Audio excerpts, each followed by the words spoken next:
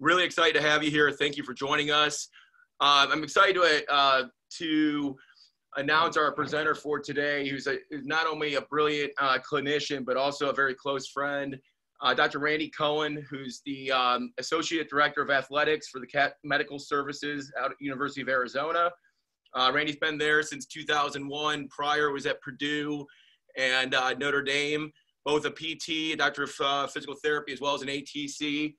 And Randy's going to be presenting on a, a really um, special topic close to our heart and what we believe um, here at Trazer is, uh, uh, is really a, a, integral and critical part of future clinical modalities and delivery of clinical applications to our patients and engaging the brain and body. So uh, he's going to be speaking on integrating neuromechanical measures into concussion and orthopedic rehabilitation.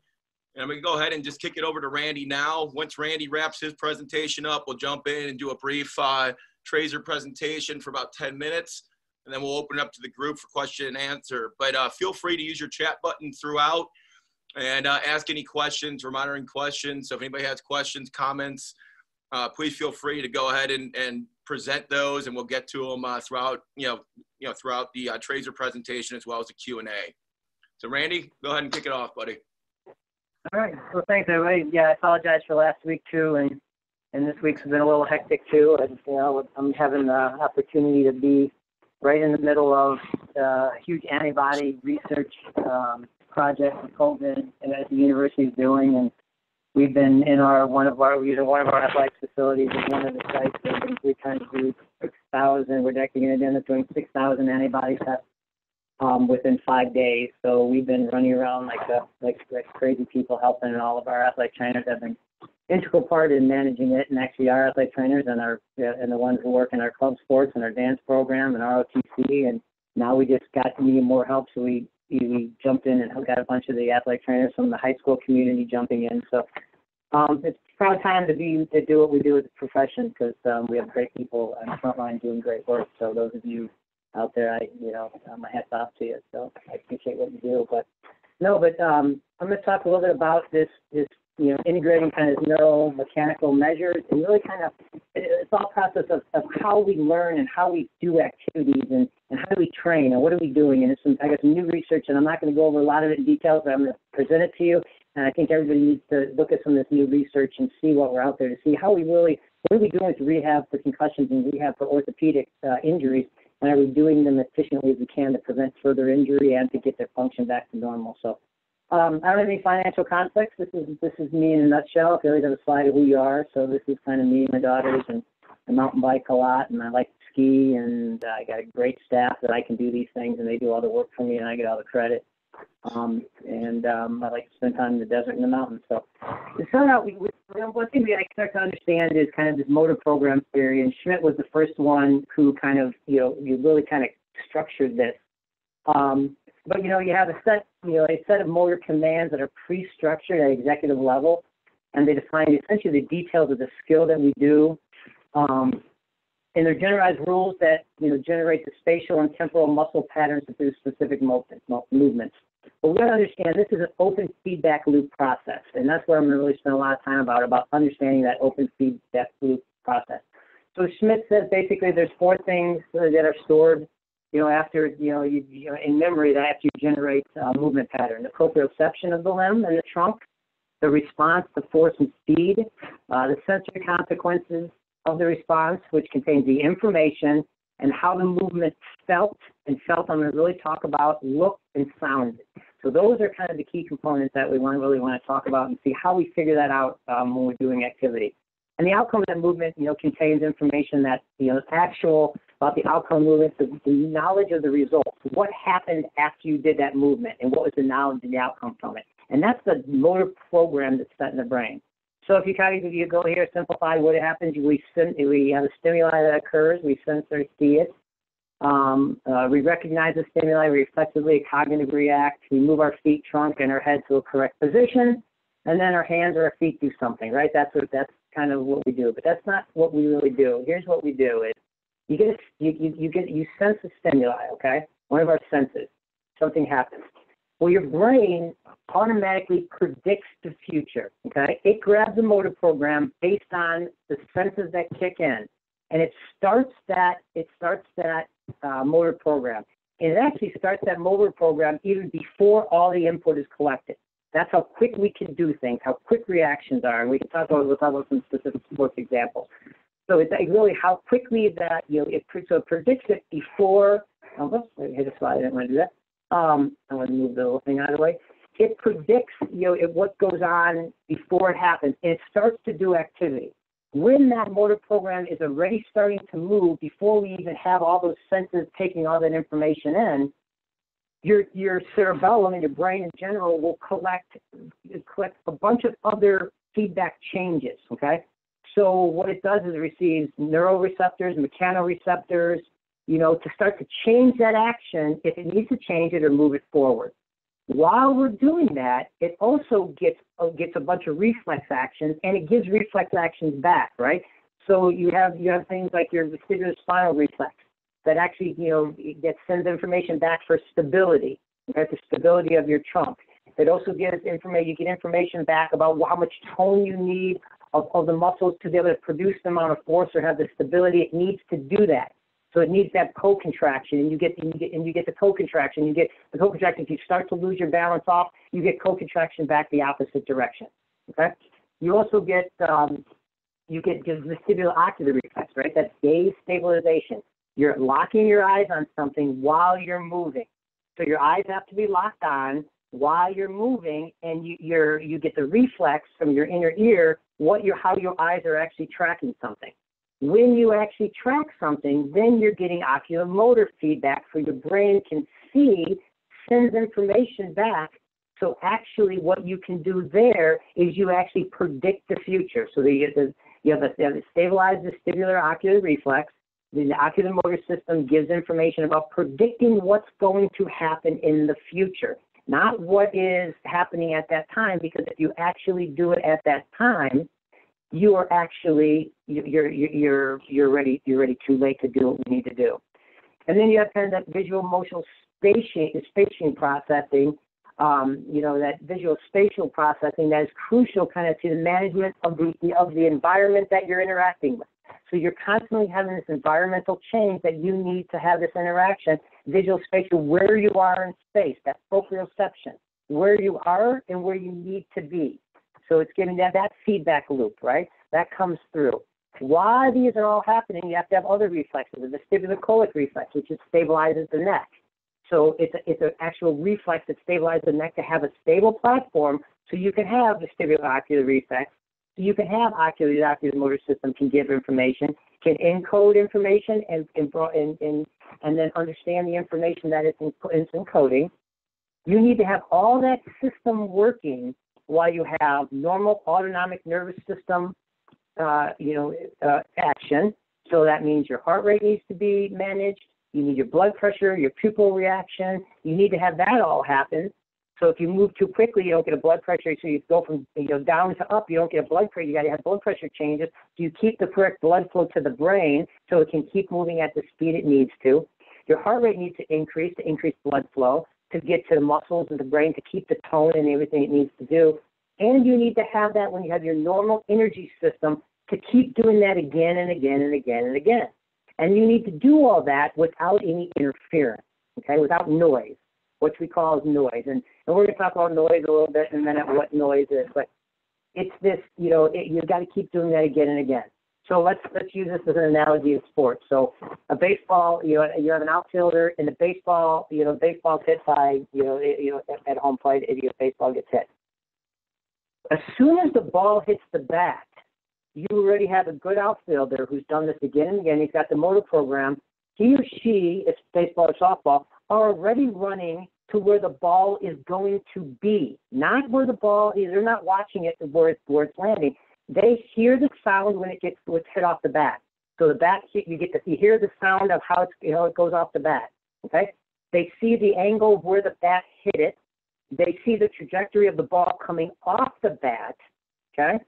And they see the speed of the ball coming off the bat. But you don't cognitively process any of that information. If you actually are looking for that kind of action coming off, The ball's already behind you. That is a motor program that is set by repetition, doing something again and again and again. Then you're running to where the, where the ball was hit. You're going back. You're running to the warning track. You hit the warning track. The warning track is a different surface than the regular grass you are on the outfield. That's a feedback loop that you get from the tone of your feet, the angle of your of the angle of your ankle when it hits. If the warning track's raised, elevated, you hit that. You go. That gives you feedback. You know from your motor program that oh, when I get this change in the surface I'm on, I'm at the warning track. Your motor program then tells you where's the ball going to be by the fence. Then you jump, you put the mitt where the ball is going to be, and when the ball, as soon as the ball hits, you close the mitt. Okay? That is not a thought out process. That is a that is a motor program that is from repetition, repetition, repetition. Okay? That has to be reflexive to be as good as we are at things we're doing, everything in life not just being a high level and a high level athlete. You need to have those things again and again without interference. Okay? And oh, why by the way, when you're when you're running, you need to have trunk stability. If you start to step start to slip a little bit and you start to you start to slide a little bit and you start to go like you're gonna fall off, you, what you need to do is you need to catch your balance. So you have your your spinal reflex that kicks in to prevent you from falling over. And then but you're continuing to run while you're doing it then you need to know exactly how far to jump to get the ball. You need to know how far to extend your mitt. But by the way, when you're doing that, as soon as you touch the ball, you turn around and you already are thinking the process. Oh, wait a minute, somebody was tagging up at second base. I need to throw the ball home. That's a process of a thought process that you have to have, that you already have to be able to catch the ball, step, come down, and be able to make your next throw. So you need to do it again with the next process and you need to do it again and again without without again without interference. So what is interference? Interference is anything that messes with that process. Interference is pain. Um, you know, for a concussion, it could be a headache. It can be sensitivity to noise, uh, visual issues, oculomotor, you know, encoding or decoding of oculomotor information that you have. It could be a, a, a deficit in your vestibular ocular system. Okay, it could be, you know, it could be, you know, after concussion, sensitivity to light. You know, you, you, it slows down your process, changes your process. It could be fatigue or lack of energy. That could be from sleep issues. That could be general system issues at the, you know, that happen at the end of the day. It could be, that could be food. That could be, do you have the energy system available to readily feed the brain and the, and the body to be able to do these things again and again and again? Okay. It could be general end of the day. You're just fatigued at the end of the day. You're not as good as you were at the end of the day, or when you're fatigued, or the end of a, you know, the end of a, um, you know, an activity. At the end of the game, you know, are you as good as you are at the beginning of the game? Do you have that system ability to do it when it's fatigued? And have you practiced and, and, and you have you done that? If you're a concussion, you're, is it basically cognitive fatigue at the end of a, of a processing? So can you do it again? Again, processing of the information you get do you have a, is, is, it, is the processing speed quick enough to recognize something to actually get the body to move to where it needs to be? So cognitive speed, we measure that on, right now we measure it on, you can measure cognitive speed on neurocognitive tests. You can sit at a computer and measure, you know, cognitive processing speed. But does that processing speed actually get the body to move? Does it get the feet to move where they need to be? You process the information quickly, but then can you get the, the information to the feet to move your body in the quickest way it needs to do. Do you recognize, do you have recognition of the information that you have? You have the same recognition. Are you encoding new information that is a change in the motor program to alter it a little bit so you actually do something a little bit different? Okay? And is your recall speed the same? Can you recall what you've learned previously or something that messed up that, that recalling of that cognitive processing? chronic injury, overuse injury, surgery, all those can can that you have that can you recall that motor program of your brain to get that activity to go. Can you do all that without without balance deficit, without the vestibular spinal you know, you know deficit? We know with a concussion that you, you you if you stand and you and you do and you and you do sway testing, right? So we do those. We have people stand and we measure sway on force plates, or we do tandem stands or we do those type of things when we talk about balance. Well, balance is not a static activity. Okay, balance is never static. When do, in life as humans do we ever stand perfectly still and care if we sway or not. Probably the only time we do that is when we're doing some kind of test, right? We don't care if we sway. You know, we don't try to lock our think I'm going to stand perfectly still and not sway. Okay, I'm going to stand the stance and try to keep my balance. We never do that. Balance is a dynamic activity. Can you move, stop, stop, and change direction? Can you move and, and the ground slips underneath you and you recatch your balance? Okay. Can you can you walk without being wobbly and stumble and fall over? When you walk, if you have balance deficits, do you open up your base of support so you're actually walking with your feet wider apart?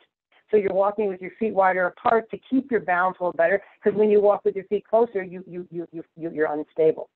Can you stop on a dive and change direction? Or do you get extra sway where your trunk sways one way when you're trying to cut back? So your ability to decelerate and change direction decreases. So when you do that, you change things. And I'll talk about that in a minute. Change angles and and, and joint angles and, and muscle tone and things like that that possibly cause you a risk of injury. Proprioception. Okay. So do you getting that neuromechanical neuromechanical receptor feedback? And is your brain processing the way it should? Okay. Are you doing this with normal autonomic you know, nervous system regulation? And if you have an injury, if you have a concussion, is it a primary autonomic nervous system dysregulation or a secondary? Which means is if it's primary, that means the injury occurred, portion of the brain that got injured could affect the autonomic nervous system. Or is it secondary? You're deconditioned. You used to exercise all the time. Now you you don't exercise, so you've developed an exercise intolerance. So when you try to exercise, your autonomic nervous system doesn't have good regulation. Other things can affect the secondary autonomic nervous system regulation too. Lack of sleep. So do you have a do you have a sleep issue from something like a concussion or stress? It's not you discuss it could be stressful in your life. You don't sleep very well. So when you sleep don't sleep very well, you have an autonomic nervous system dysfunction. Checking heart rate variability on people. Do you have a good heart rate variability? Have you checked your heart rate variability is within your, within your normal range to see that you're able to do these activities at a high, high level? Anxiety causes heart rate, uh, autonomic nervous system dysregulation.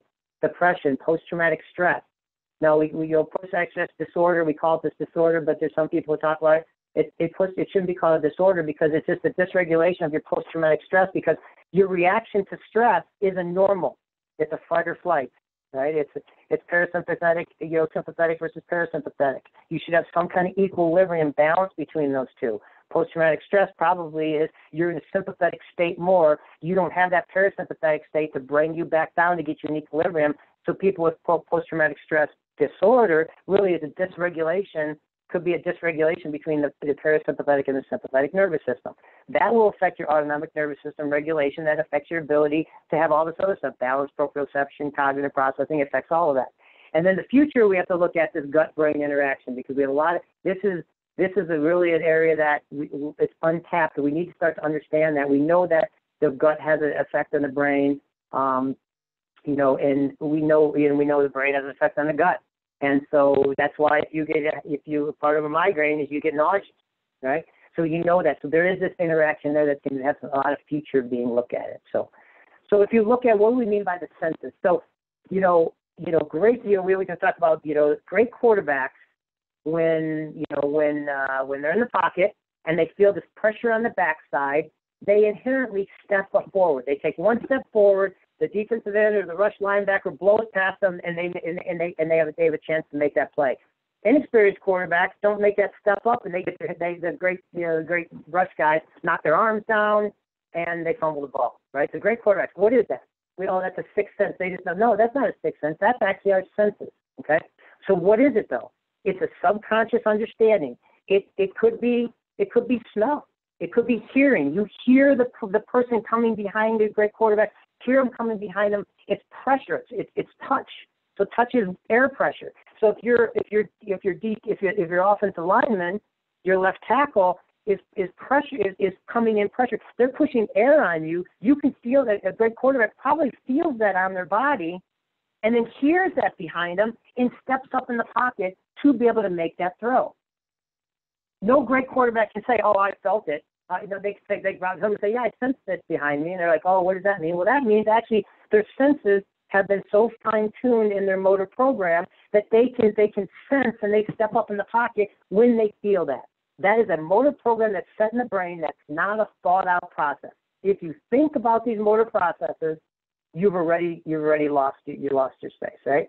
So you need to understand all these things, you know. You know, these are all the senses that you have to have, and you got to understand, and you have to train them at the level. That you have to train them um, early on to get them to go back to what their normal activity is. So let's talk about vision really quick. Vision is a really interesting uh, concept. Um, you know that that we we we we have to understand about two things. We have focal vision, which is this is this is um, Bill Padula, some work he's done of the East Coast. Bill Padula talks about conscious and preconscious, and he's one of the people in so conscious is that detailed discrimination identification, that's slow, okay? But the preconscious, the ambient vision, is proactive, it predicts the future, it gives you spatial orientation and balance, and it's rapid speed. This preconscious, you know, preconscious ambient vision is not something we know we recognize. It's from it's it's already giving information to the brain or either giving information to the brain that we don't recognize are there. So there's this cool concept, and you can look this up. There's there's some references on on YouTube where they actually they actually say people. This is how we got to understand that our brain processes information as a, as a as a human and as an athlete. So, and this is not just doing athletic activity. This is driving a car. Experienced drivers, if a car comes into their lane, starts to come over, you're already swerving before you even necessarily recognize, hey, there's a car coming over my lane. You caught it out of the side of your eye. You barely saw it you've already swung into the lane, swung out of the way. Good drivers will swing just enough to get out of that angle of that car and not you know, slam their car over and, and jackknife and, and, and roll their car, or they won't actually slide and go into the car next to them and hit the car next to them. Why? That's processing information so quick that we just turn just enough to get out of the way, to swerve out of the way, to not get hit by that car, but not smash into the car next to it. Okay? That is a processing it's so fast you didn't think about that, but your brain processed that information from the visual field, from the vision it's getting. So blind sight is, is really a cool concept, and the ability of people have cortical blindness, so they don't can't see anything. They're perfect. They're completely blind in front of them, due to some kind of lesion of impairment of the visual cortex, that's the V1. Okay, um, but its ability, you know, for them to respond to visual stimuli that they don't consciously see. Okay? So this behavior can be guided by sensory information, which there's no conscious awareness. So what they have is they have videos. They have a person completely blind. You can do all this stuff and they cannot see anything in front of them. But they're walking down a hallway and they have obstacles in the hallway. And those people just take steps and walk around these obstacles without walking into them. And if you told them, why did you move out of the way of something, they'll say, I didn't move out of the way of something. I just moved I just I just walked I walked down the hall. They don't consciously realize that their brain is getting information from their eyes that they don't cognitively see. And so that just gives us another understanding of when you get this motor program of doing high, high level sport activity, we are getting information that we don't even recognize we get. But you can mess up that process by doing by by sometimes we probably do it in rehab, and if you especially get it gets messed up by injury. And so um, so that's kind of how you have to think of where we got to retrain the motor program. So um, you know, rehabbing is brain rehab. So we got to understand neuroplasticity. So right, so if we have injury, you know, it's you know neuroplasticity or even just building, you know, building on some um, some neurons, it's the ability to reorganize and form neural neural connections. Okay, it can be you know, axonal sprouting, um, which is getting new pathways, or it can actually be enhancing the nerve. We'll talk about that in a minute.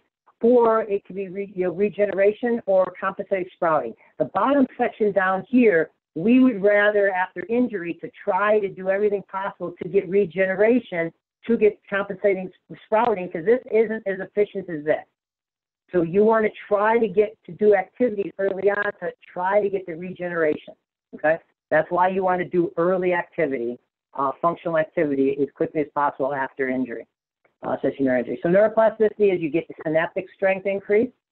Um, you know, you get you get the receptors in in in, in the uh, you know the receptors at the at the junction get improved. They get you get that synaptic strength. You get increase in dendrite branching and then you get thickening of the myelination. Those are what you want to kind of, that's what this neuroplasticity is. In all activity, that we do, repetitive stuff, increases neuroplasticity.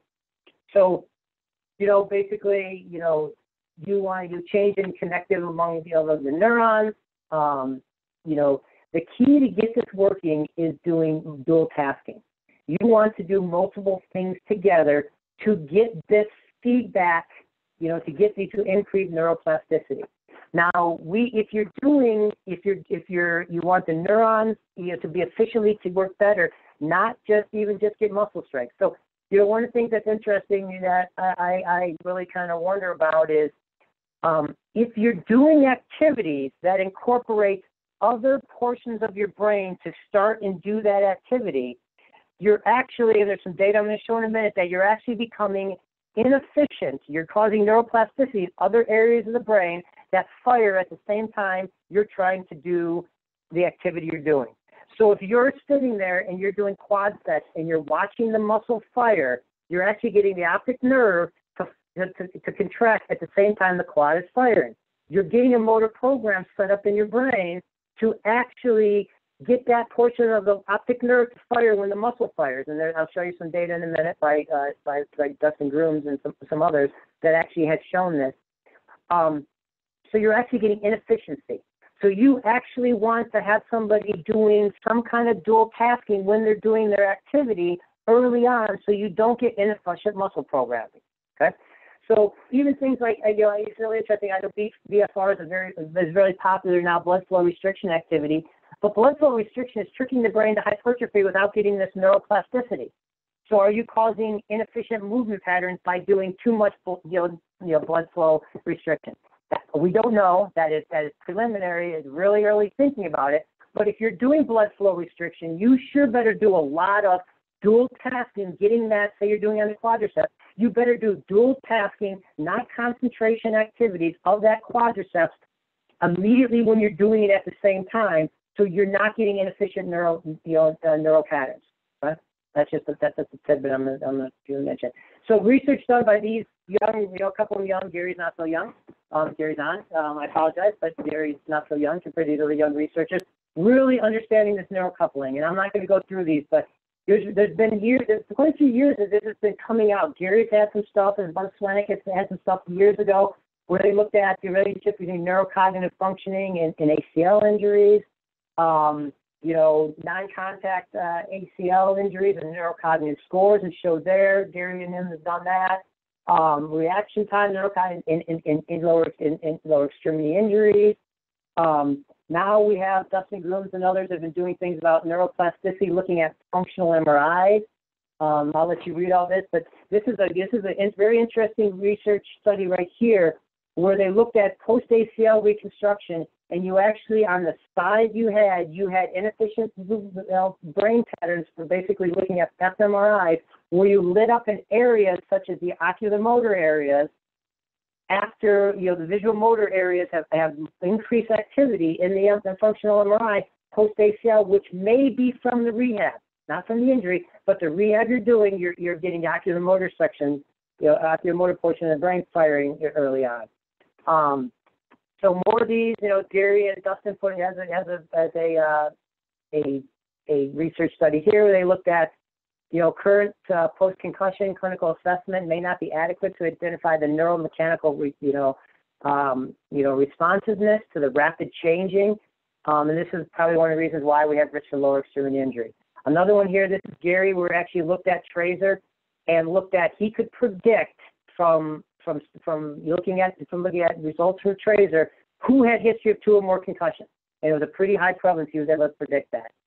So if you look at you know this you know you know using Trazer, um, this is what Gary looked at here. He was able to predict by looking at reaction time and deceleration. He could predict people who had two or more concussions um, by by the reaction time and the deceleration. And if you think, what is deceleration? Deceleration is, is vestibular spinal, right? This deceleration is balance.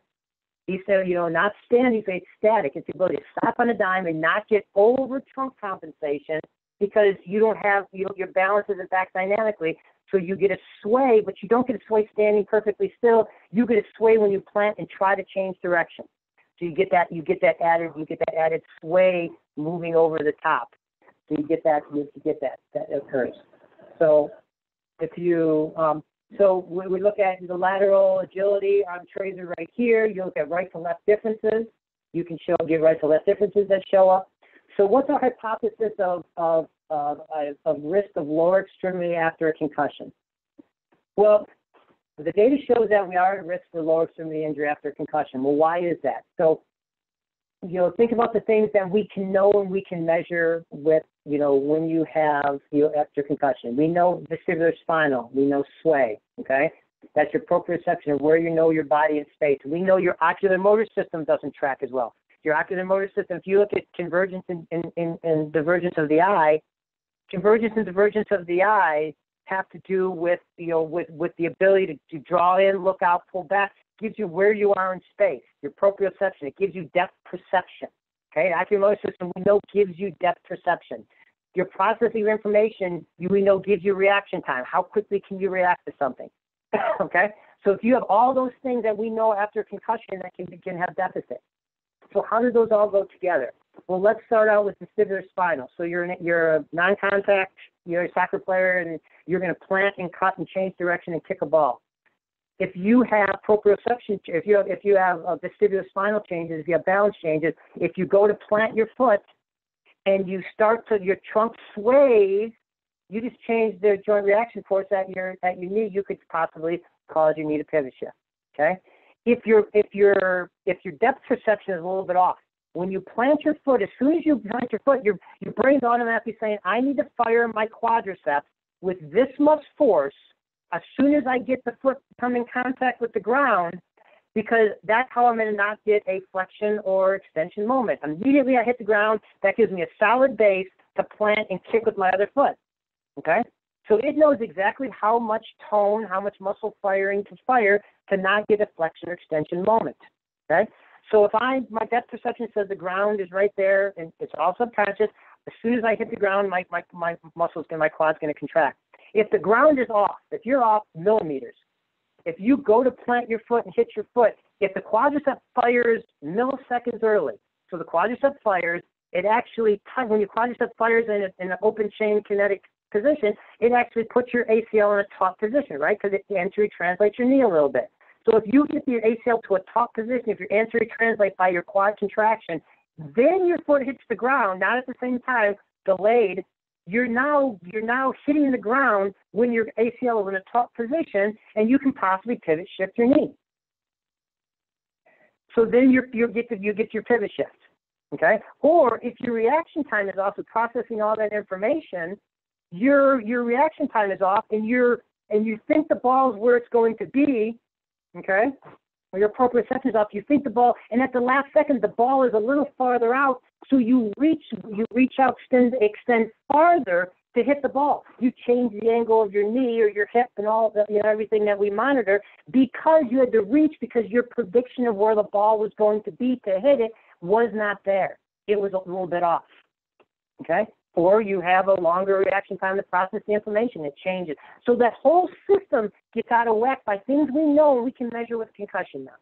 And we know we measure those also now with concussion, but post-injury, post-surgery, those type of things. Okay? So here's some of these different things. If you add cognitive challenges to functional activity, our cognitive challenges decrease our ability to do functional activity. Here's a here's a research subject that a research project that they looked at. They looked at neurocognitive challenges of HOP when you did um, when you add neurocognitive to HOP testing. And the added cognitive challenge was, you know, was apparent as participants failed to jump as far and as quickly with traditional HOP when you added a neurocognitive component to it. Add neurocognitive, you don't, you, you, you can't function as well. So if you have, you have to work those together. Another one here about eccentric and brain activity. This is a, this is uh, the left lead. Um, Lindsay and Adam have done some great work here about brain activity and, and, using eccentric exercise. I'll let you read that.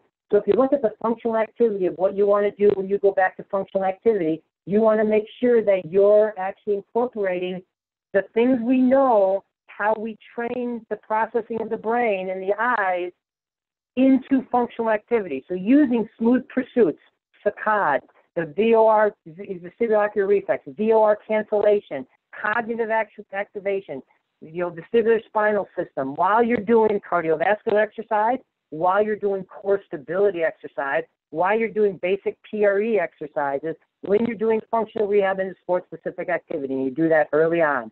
So you work dynamical visual acuity while you're doing other activities. It's about dual tasking early, early on. Okay, it's about you know using functional specific sports, but you have to understand progression so you don't jump from point A to point B. You're doing you're going A, B, C. You're doing functional progression up that way.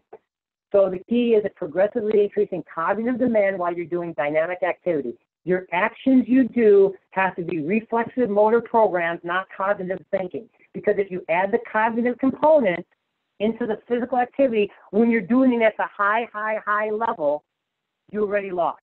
Okay? I think the best activity you can do for cognitive high level demand activity to keep the brain functioning and activity is mountain biking.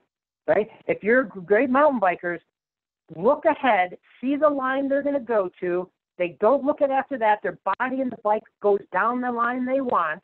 Okay? They're looking way ahead for the next line to see what they have to do to turn. If they hit something and they start to get something feeling off a little bit, they their body automatically adjusts to it. If you if you think you're if you start to if you if your back tire you're going around a corner and you think you're going to take this line good and all of a sudden your back tire starts to slide out, you adjust your body weight or you grab your your your, your brake and give a little bit of a tap of your brake to slow down the back end of your sliding out to prevent you from sliding out and dumping or you're starting to endo to go over, you didn't think you didn't hit this right, you're going down in the last second in the air. You're not thinking, oh, I am going to go over the front end of my handlebars. I need to pull up. You reflexively, actively do that. And you align your body and get yourself. It's a reflexive action from repetitive doing activities. And you cognitively have to keep moving down the line because if you're looking at what you're going over as a great mountain biker or a great mogul skier or a jump skier or a golfer, if you're thinking about the position your body needs to be in, you're already lost. If you're thinking, oh man, I need to keep my elbows straight when my back on my backswing and a golf, and I need to lock my wrist in this position, and I need to shift my weight, and you're thinking about that swing, you're lost. You, it has to be a feeling action that kicks in the motor program. Senses, mechanoreceptors. What's the receptor? The constant feedback. Oh, I need to change this a little bit.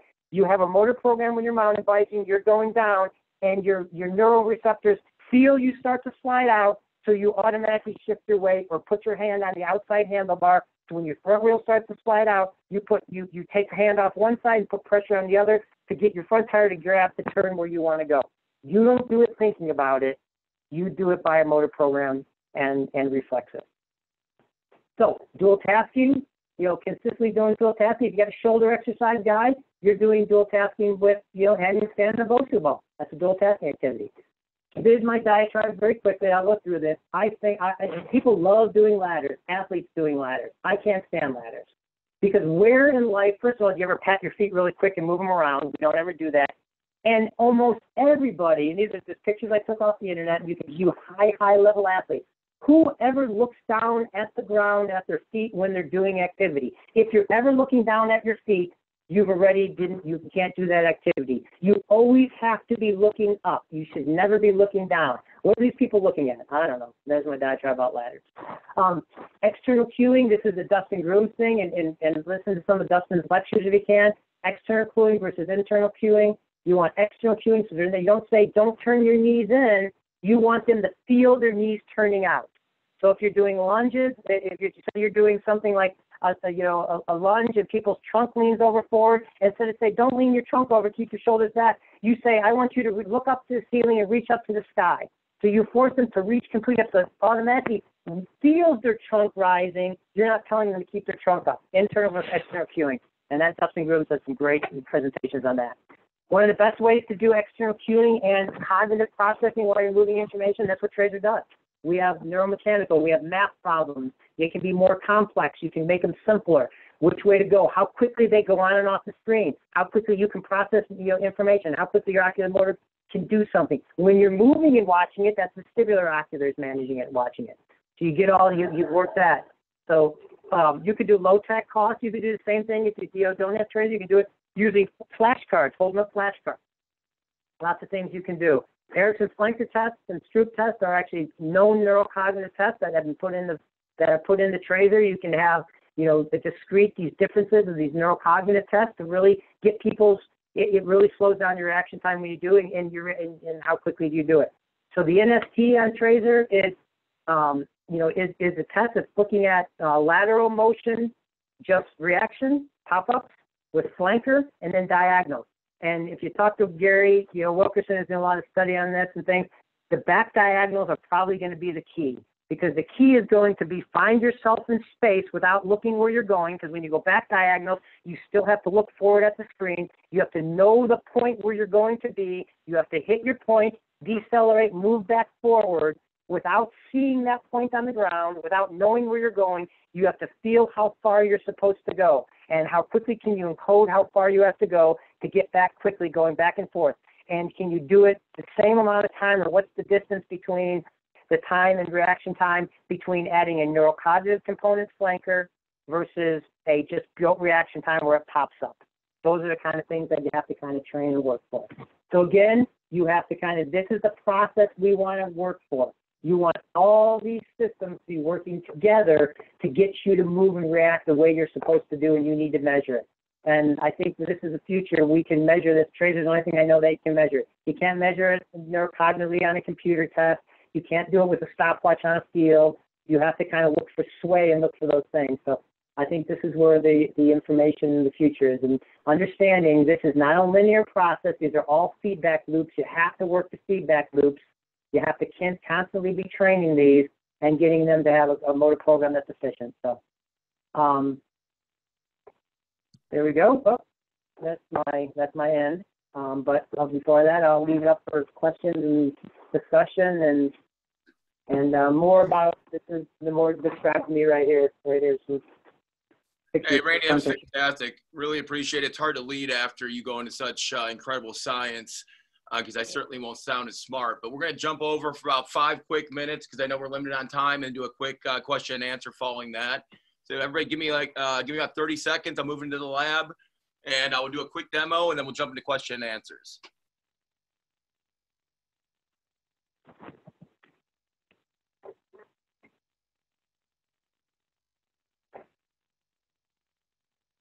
Mm-hmm.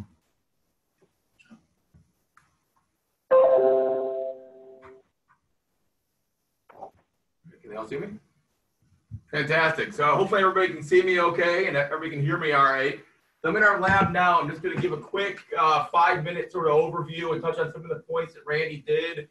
Much less scientific, but uh, sort of just a broad uh, scope as to what we're doing here. So I'm going to start off real quickly. Trazers, a lot of you already know what it is, a lot don't. So some of this might be repetitive, but I think the overview will hopefully be beneficial when you see some of the new things that we're doing right now that are really exciting. Trazer, small hardware component with an optical camera on the front driving the software and the virtual environment that you're going to see here in just a second, uh, all wrapped around the ability to objectively quantify human health and performance very uniquely based on two factors. Can we objectively quantify and provide actionable data in regards to that human health performance and that quantification of the status of that individual? Uh, so there's four key pillars we'll look at. One being balance, which Randy talked quite a bit about, uh, dynamic balance. Two being kinematics, can we look at form, can we look at joint angles and, and rapidly objectively quantify? Three, looking at dynamic movement, putting you in an analogous environment and providing a reactive based environment similar analogous to the real world, which we find to be vital. Looking at an individual or an athlete's ability to stop, start, and change direction, and how well do they do that? Can they see the environment, process information cognitively, and then move from a motor standpoint efficiently and effectively and symmetrically? And four, neuromechanics. And Randy's uh, presentation was all wrapped around these neuromechanical measures. And this is really the most exciting space for us. So I'm going to spend a little bit more time on that here and showing you how we integrate cognitive challenges with movement to then splice out brain-related issues with mo motor issues, allowing us and those clinicians amongst the group to directly address where the issue might lie and then provide a more uh, clear and concise care path around those areas. So I'm going to jump in, again, limited time, but I'm going to look at one, I'm going to show you quickly the LAS, which Randy alluded to, very simple. And you'll see here, we've now included new environments that you can incorporate into any activity. So if you have a tennis player, I'm on a tennis court here. So you see the tennis court environment? It rapidly calibrates me, and within three seconds, I'm integrated. That's me. And I'm reacting left versus right. We're looking at how well I process that information and move from a motor standpoint. And we're looking at accelerations, decelerations, reaction times, left versus right, looking at speed, and then again, asymmetry. I'm not going to keep going because I won't be able to talk and I'll have a heart attack. Uh, but I want to give you a sense of what that looked like. I'm going to jump now into some, just some of the neuromechanical applications. I'm going to show you flanker. So on the flanker side in neuromechanics, very simple premise. Same exact movement pattern you just saw, reacting left and right, back to center, um, and then to the target. Here you'll see we added, there's five arrows across the top. So pay attention to the screen. Five arrows across the top. I'm focused on the center arrow.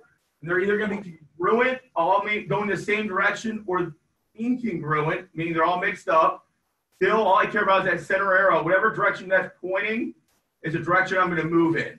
So it's pointing to the right, great. So now we bring in a, a choice reaction time and some executive function, looking at how well I can process that cognitive challenge and then move in the appropriate direction to solve the problem, basically.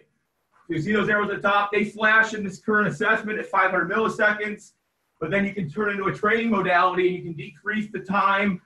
Or for the senior population, for example, you can leave that stimulus on the screen static, so they might not process as fast, but as they get better and better and they have better wiring between that brain and body, then we can decrease the amount of time that stimulus stays on the screen for them to process that information. All right, i Already out of breath. All right, quickly, I'll show you the Stroop. The Stroop, if, if anybody's not aware of what the Stroop is, highly validated uh, neuropsych test, again, used uh, a lot of times in the stroke um, or the senior community, again, looking at brain processing. We've included that with movement. So I'm focused on the color. So it says blue, I'm moving to blue. That was red, but it was in blue. So I'm going to the word, not the color. You can tell I'm already having a little bit of a challenge with that. The word. Good. Good. And again, we can put them on any environment. So it could be a hockey rink, a football field, a tennis court. But we want it to be analogous to where that person is returning to. The closer that can be, we think the better the outcomes might be. Lastly, I'm going to show you kinematics. Um, and kinematics is new. And this is looking here just at a double leg squat. And rather than using an avatar, we're now using just the individual. You'll see it overlays the joints in the body. Will calibrate me quickly. I go ahead and begin my squats. Here's going to be 10 reps. You can see the biofeedback on the right side of the screen.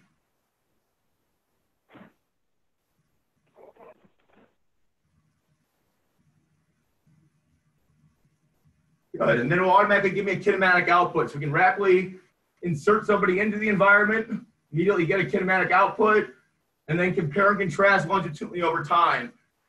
So what's the best way to do work with this data? I won't go into any you know, depth into detail, but what it allows us to do, we can baseline somebody whether injured or whether healthy, and then consistently reassess throughout the life cycle, let's say physical therapy, for example, or in the training room, looking hopefully that degradation and deficiency throughout the life cycle of their rehabilitation period, or if we're looking at something on the performance side, we can track overtraining, overreaching, and degradations due to those two things, or just look at performance enha- enhancements over a linear time frame.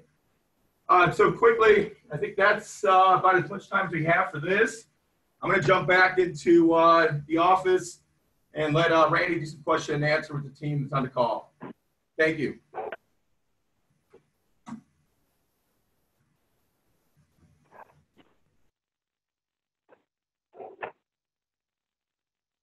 So Randy, I'm just um, looking for some questions that people might have. But uh, in the meantime, what do you really think about ladders? Yeah. yeah. I think I need to. Uh, I, I I keep now that I've said that to a bunch of people. Anytime some high level athletes put on their their uh, their Instagram that they did ladders, I always get pictures of them from people saying they're looking at their feet. You know. Yeah. Does anybody have any uh, any any questions for either Randy or for our team? Um, we've got a couple minutes left here. Want to make sure that we gave uh, an open platform for everybody to get their questions answered if they have any.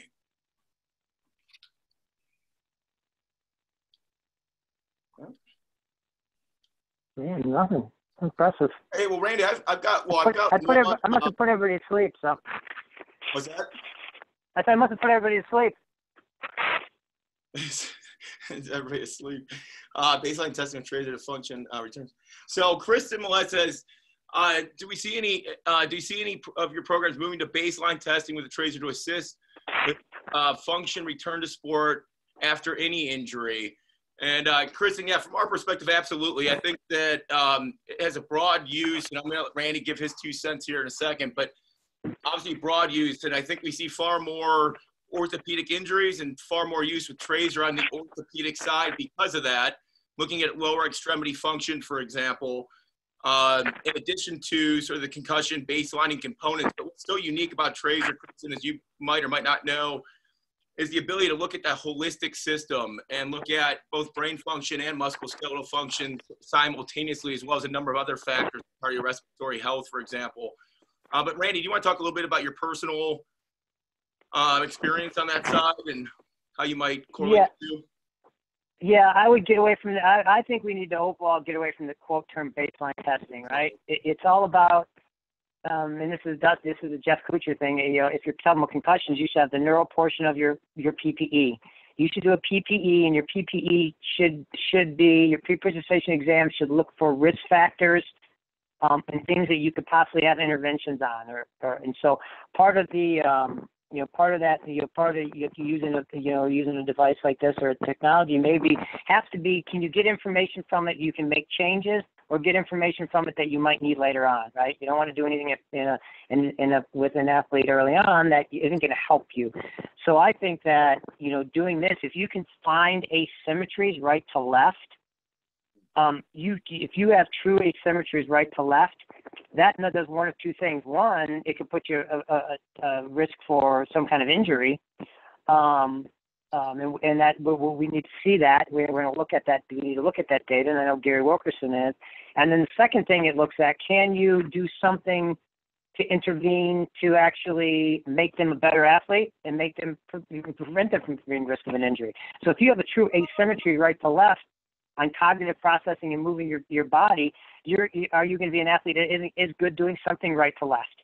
And you really want symmetries. And so, you know, so I think that looking for this as a as part of your your physical exam to look for things that you can intervene to help problems, I think that's part of the future. So, No, it's great. and then yeah, yeah. And what about well, young athlete, youngest athlete use them? I know you have some kids using them out so, there. um, well, I was just I was just laughing my head off the other day, and I'll I'll probably post something like this on social media. But I had my brother's four year old who's a little midget running around and just and killing it. So it, it will track. Uh, you know, I've seen as young as four, maybe even three. I wouldn't claim that that could be uh, used. You know, I don't know if you call a four year old an athlete, even though I think he will be one day. Uh, but usually it's you know above eight years old. Uh, I think most groups we've talked to uh, usually use it with 10 year olds or above. Uh, but it just depends on the motor function of that individual and, and you know, how, you know, how far in the uh, evolutionary path they are as far as their growth and maturity uh, to a great extent. Hey, Randy, how about uh, how about frequency of testing in terms of trying to monitor, act, you know, the asymmetries and the levels, you know, through the course of a season or a year? I mean, how how frequently should you be reass- reassessing or rechecking up on these on your athletes?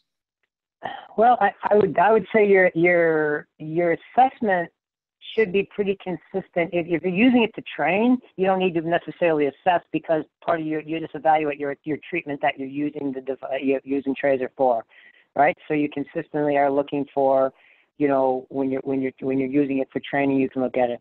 If you want to, you know, if you're talking about kind of just retesting to test, you know, I think it's it's just it's it's a good tool to use at post injury. So you look at somebody before you're returning them, um, and uh, you know, as part of the early portion of the the evaluation, and then um, and then when you're when you're really kind of working them back. But when you're using it as a, a as part of your treatment tool, then you can assess your treatment your, your treatment how it's going there, and you can look at all the data on that too. Good, fantastic. Well, we want to be respectful of everyone's time. So I want to, you know, first of all, thank you, Randy, for doing this. It's been invaluable, at least for us, to hear your uh, perspective. Hopefully for the rest of the group as well. Uh, we appreciate you being here, man, and taking this time. I know how swamped you are. Uh, thank you, everyone.